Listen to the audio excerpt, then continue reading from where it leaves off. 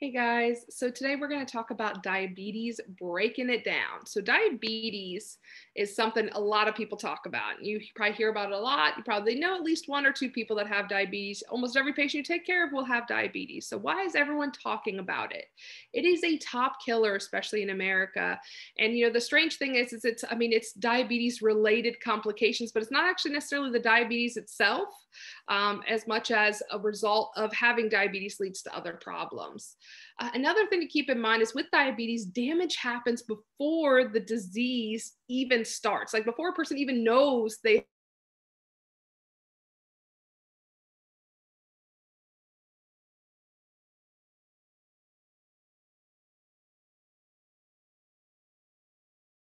um, you know, before it's even official, like that sugar in the blood um, is going around and it's causing a lot of damage. It affects the entire body.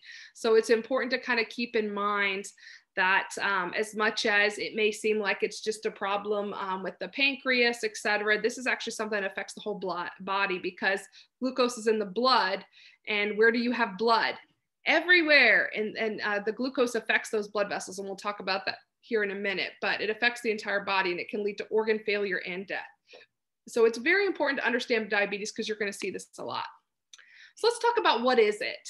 So diabetes, and there's two types, we'll kind of break it down, but it's a problem of either having not enough insulin or zero insulin, or it's a cellular problem. Um, and so type one is where you have none or not enough insulin. Um, so no insulin or not enough. And, um, you know, understanding like why this happens, it's not completely well understood. There's some genetics and other environmental factors and viral stuff. But, you know, at the end of the day, um, you don't have insulin. And insulin is a key that un unlocks the cell so that glucose can get in. Um, and for type two, they can have the same problem where they um, their pancreas kind of just gets overworked um, and it stops making as much insulin as it once did. Um, and then also there can be cellular problems. So in other words, remember I just said insulin is a key to get glucose into the cell. And sometimes it's kind of like think if um, there was someone who was knocking on your door all the time and they were trying to sell you the same thing. Maybe the first couple times you'd entertain them, but after a while you're like, I don't want what you're selling.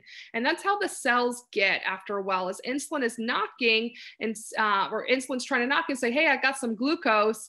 And um, what do you call it? the cells like, nah, nah, nah, like, you know, I, I'm, I already have enough of that. Thank you. I'm, I'm done. So it's pretty much the insulin um, uh, cannot, um, it's what they call the cells get less sensitive sensitive to insulin. In other words, the key that insulin is bringing to the cell is not opening the door. So then what ends up with both of these, whether type 1 or type 2, is there's too much sugar in the blood. And why is that a problem? That's not a good thing. You may think, because I used to think before I understood, you know, what about diabetes, that having sugar in the blood, that's where you wanted your sugar. But you do not want sugar in the blood. Sugar in the blood is not actually feeding the body, it's just traveling and causing damage. So sugar cannot feed the body if it cannot in the cell. So where I need my sugar, my glucose is in my cell. But if it's in the blood and if the um, ins- there's no insulin to unlock that door, or if the insulin's trying to unlock that door, but the cells are saying no, then I can't get energy or glucose into my cells to feed my body. And so one, a big problem is, is that I'm not getting energy that I need into my cells so that they can actually function the way they need to. And two, um, it also, there's all this extra sugar, it's going around um, in the bloodstream and causing damage everywhere because it's very irritating to blood vessels and nerves, and it can cause a host of problems. Let's kind of start talking about those. So, some common complications cardiovascular problems are so closely linked to diabetes, hypertension, hyperlipidemia. When you have um, issues with your insulin, it can lead to problems with your cholesterol.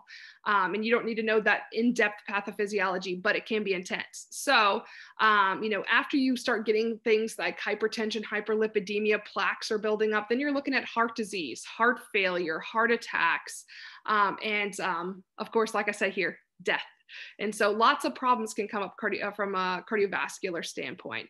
Kidney problems. So all that sugar goes to the kidneys, irritates those blood vessels, uh, makes them not work effectively. And so the kidneys aren't filtering and it leads to kidney failure. Um, skin problems. Um, we cannot feel um, the skin because what happens is, is that all of the glucose irritates the nerves in the blood. Um, what do you call it? Go, the blood supply goes to the nerves, it irritates those, and then you lose that sensation. A lot of patients with diabetes will complain of numbness and tingling, especially in their feet. Um, and so then they can't feel their feet. And so then they get a light cut or something like you and I, we walk around our house, we occasionally get a little cut or something on our foot. No big deal, it heals. But for a um, diabetic, they don't feel it. And then if it gets infected, it gets worse, which we'll talk about here in a second, that diabetics also don't heal. So um, then uh, they can have serious skin problems and end up with needing multiple amputations and other issues because of that poor blood supply. And you have to also keep in mind, it's not just about the fact they can't feel it they also can't heal um, because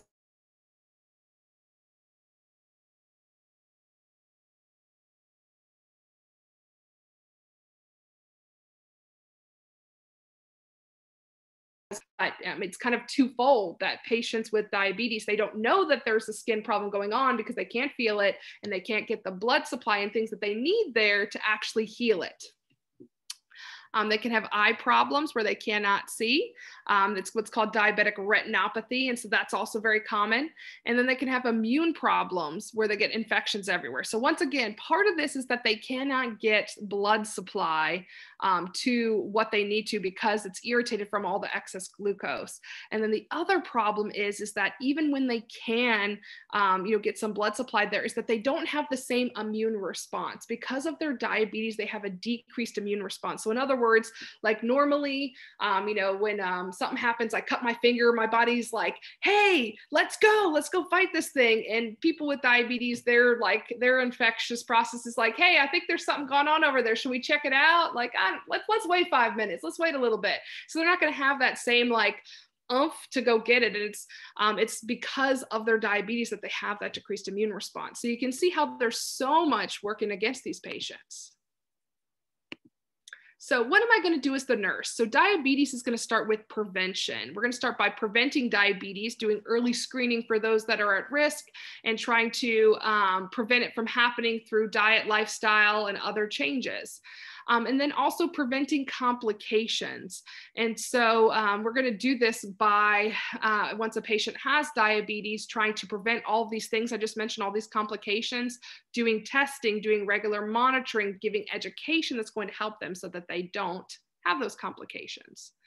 Um, it's also a lot about management. So I want to manage their glucose levels, manage their cardiovascular risk factors, and education, education, education is key. They need so much education um, in order to um, get better. And we'll talk about the cardiovascular risk factors and health here in a minute. So, self management of diabetes is key. They have to be able to take care of themselves or have someone who can help them to care for themselves. They need to know how to check their blood glucose. They need to know what's normal and what's sign of a problem. So, in other words, they need to know when's my blood sugar low and when it's high.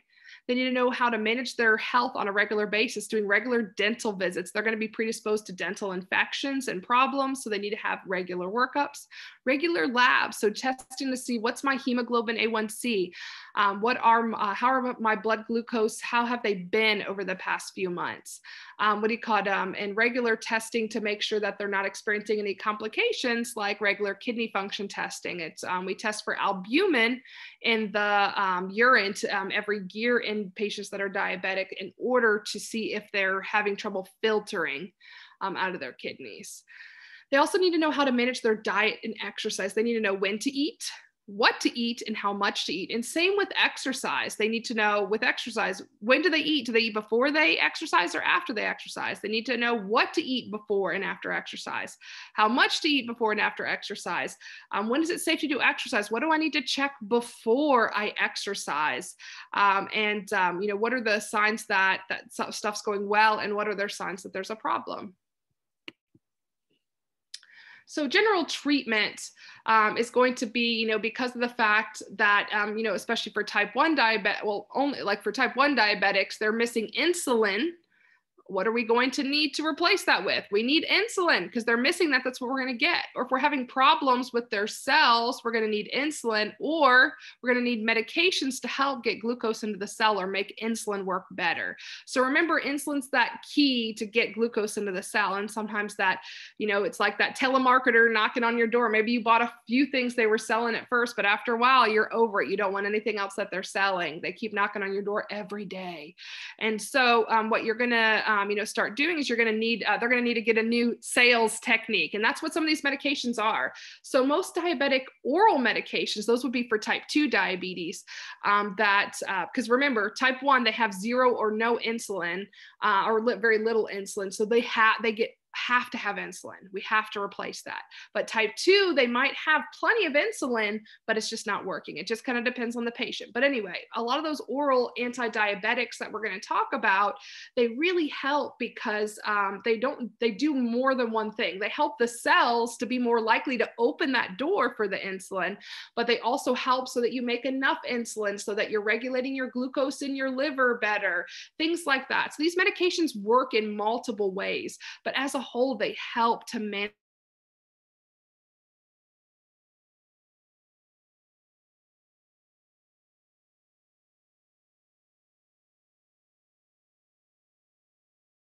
to have good glycemia um, and so that you can um, uh, you know everything is better. Like pretty much what um, what has been found for um, uh, what you call patients with diabetes is that keeping a steady blood glucose lowers those chance of complications. Once you have diabetes, it's really just about trying to manage and prevent things from getting worse. Um, there's some other alternatives for type 1. They can have what's called an islet cell transplant or a pancreatic transplant. And then for type 2, um, you know, or type 1 possibly, but I would, I would say it's more likely with type 2 because type 2 is more associated with obesity and other issues. They can have bariatric surgery um, in order to help to uh, manage some of the other complications that can come with diabetes, obesity, and things like that as well, and manage their blood sugars better. So, um, this is really just a start. There'll be other PowerPoint videos to watch and to look over. Um, diabetes is a big topic, but it's very big and also very important that you understand so that you can take good care of these patients and provide safe and effective care. Thanks for listening. Talk to you later.